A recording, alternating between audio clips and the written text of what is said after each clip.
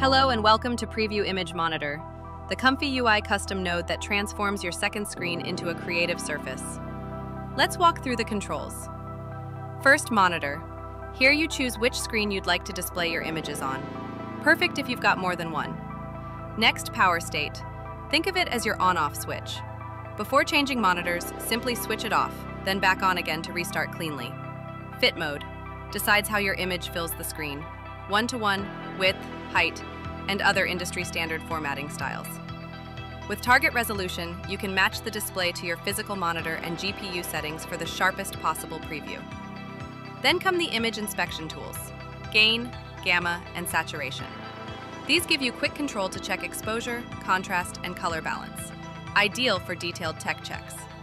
White Matte is designed for artists who come from a photography background, or anyone who prefers to compare their work against a pure white reference. Finally, FPS mode. We recommend keeping this on Smart for the best balance between smooth playback and performance.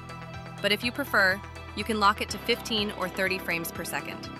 Frame rate will become even more important in the future as video support expands.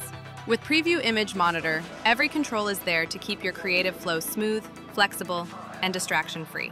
Try it out and make your second screen truly work for you. Thanks for watching!